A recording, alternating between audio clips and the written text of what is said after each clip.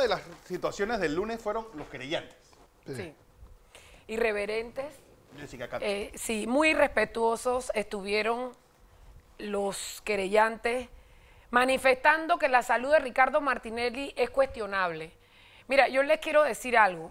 Independientemente de todo, quiero llegar al punto, aparte de lo que pasó con los querellantes, eh, todos tenían el mismo libreto. Todos hablaban de que la salud de Ricardo Martinelli es propia de la edad que tiene, de que esto depende de una pastilla. Miren, sinceramente nosotros tenemos todas las pruebas de la situación médica de Ricardo Martinelli.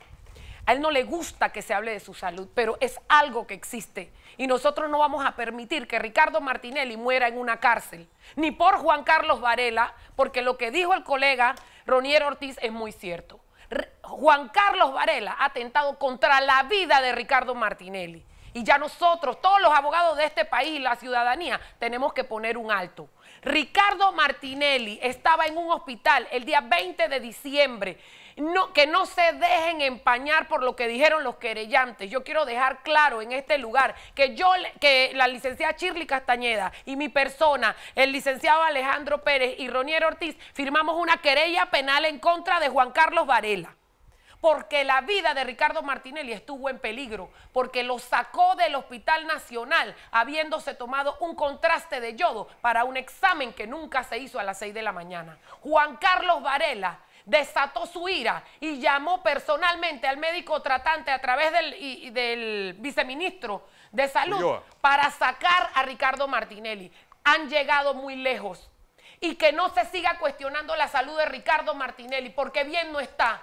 Y Ricardo Martinelli lo sabe porque ha llegado emisarios de Juan Carlos Varela. Nosotros hemos sido perseguidos. Juan Carlos Varela me ha mandado a mí personal de la policía fuera de mi casa. Ellos eh, andan chateando, viendo y no es por los clientes otros clientes que se atiendan. Tengo una medida de la CIDH de protección. Juan Carlos Varela persigue a la defensa de Ricardo Martinelli. No vamos a permitir que lo mate.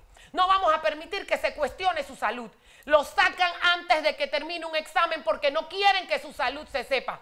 Llegó una persona a decirle a Ricardo Martinelli que lo que él quería es que muriera de un ataque cardíaco. ¿Hasta cuándo nosotros tenemos que permitir lo que está pasando? Y los querellantes se están prestando para eso, repitiendo el mismo libreto. Le vamos a demostrar, Ricardo Martinelli está enfermo. Nosotros no queremos que sigan eh, haciendo mofa de la salud de él. Pero si algo le pasa, sabemos a quiénes tenemos que perseguir también, porque lo que se está dando es demasiado peligroso.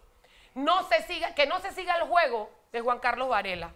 Lo que está pasando es preocupante y la defensa está, eh, está preocupada, pero también estamos muy al tanto de todo lo que pasa con Ricardo Martinelli, porque nosotros no sabemos si una noche le hacen un daño a Ricardo Martinelli. Martinelli está solo en este momento.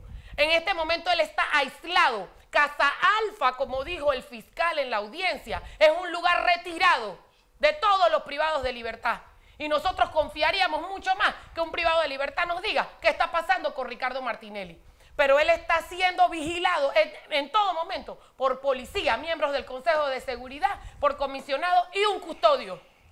Entonces tenemos que tener mucho cuidado. Y yo quiero dejar en este programa claro que si algo le ocurre a Ricardo Martinelli, fue Juan Carlos Varela. Así de sencillo. Ronnie. Mira, varias cosas para, para ahondar a lo que Jessica está manifestando.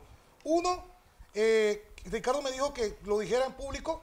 Señores querellantes, cuando uno va a hablar y ustedes son abogados, ahí podemos exceptuar a la, a la, a la ingeniera Balbina porque no es abogada y es una víctima. Pero el resto de los abogados, dentro de los argumentos que establecieron en esa fecha, en esa eh, audiencia de fianza, dijeron mentiras. Y se lo, vamos, se lo vamos a demostrar porque ya transcribimos los videos y ya estamos listos esperando solamente la, legalización de los mismos para creyarlo. ¿Por qué? Mira, establecieron de que Ricardo se estaba fugando del hospital eh, nacional cuando abrazó a su esposa. Mira, pedazo de ignorante. ¿Y usted sabe quién es el que dijo eso? Te lo voy a, te lo voy a decir para que estés claro. Ricardo Martínez se paró de ahí para ir al cuarto, donde nunca se debió haber movido. Eso para que estés claro. Dos, tenían un complot para armar un expediente de Ricardo Martinelli porque se robaron dos teléfonos. Y yo escuché al fiscal, el fiscal eh, González, decir que era un teléfono dorado. Y yo siempre supe, porque los presos hablan y las cárceles hablan, de que había un paquete de gente de la Fiscalía Anticorrupción armando un paquete para sacar a Ricardo del renacer y llevarlo a la cárcel, eh, eh, la, la mega joya. Esos son elementos muy delicados, Fernando, que nosotros no podemos permitir como abogados que estas cosas sigan sucediendo. ¿Por qué? Porque esto empaña toda clase de justicia. ¿Ante qué estamos? Ante un estado de barbarie, que no vamos a permitir que esto se siga dando en particular. Mira, el, el, el señor Marcelino Aguilar fue el funcionario que desde la época de Ana Belfon, como procuradora, goleó a su propia procuradora y se le vendió a Rolando López del Consejo de Seguridad y le ofrecieron esto a Juan Carlos Varela de armar un expediente para perjudicar a, por, a algunos por venganzas personales, otros peleando mujeres, otros peleando tonterías. Se ha gastado una plata del Estado panameño en un expediente que no vale 10 centavos. Fue Marcelino Aguilar con otro grupo que estoy esperando si van a asomar la cabeza, porque yo dije que gracias a Dios las denuncias en estos casos se archivan provisionalmente y no definitivas. Así que apenas pasen las elecciones, empecemos con un nuevo gobierno, tengan la plena seguridad que se van a acordar de nosotros. Hablamos.